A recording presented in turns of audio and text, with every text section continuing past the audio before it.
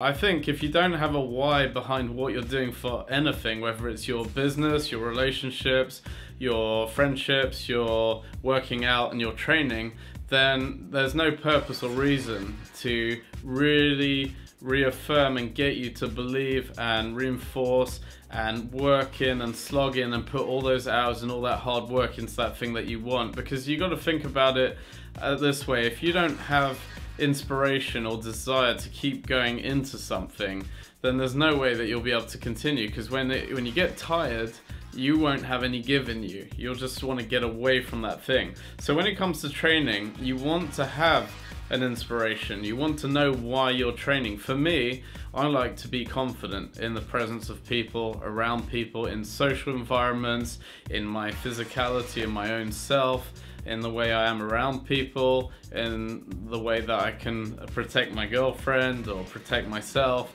I want that physical confidence. So that's one thing that I enjoy is the empowerment. Another thing that I really have felt has been amazing about training is the idea that from doing Olympic lifts particularly and work on posture and postural conditioning, I've had more and more belief in myself, which has then run into other parts of my life such as psychological confidence, uh, mental ability to look into my finances and to be strong about my business and my decisions.